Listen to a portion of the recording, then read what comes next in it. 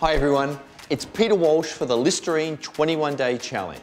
When you focus on small daily habits like rinsing 60 seconds a day, the results can be extremely powerful. Clutter can be the number one contributor to disorganisation, and it's something you feel the effect of both physically and mentally.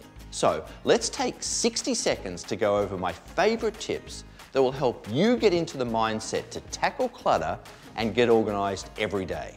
Set aside just 10 minutes a day to declutter and organise your home and start slow.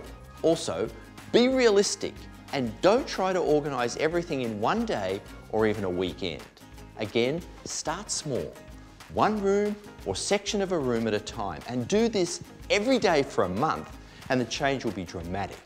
And when it comes to organisation, remember that perfection is not the goal.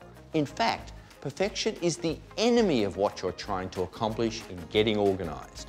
Aim for a home that's comfortable, welcoming and yours, not some impossible to achieve image that you found in a glossy magazine. And when you're looking at what to bring into your home or what to hold on to, there's only one question you should ask. Will this item help me to create the life and the home I want? The stuff we own should reflect the vision we have for our spaces and if it doesn't fit, it simply shouldn't be in our homes. Be sure to sign up for your own Listerine 21 Day Challenge to get exclusive organisation tips from me, plus oral care tips and rewards from the Listerine team.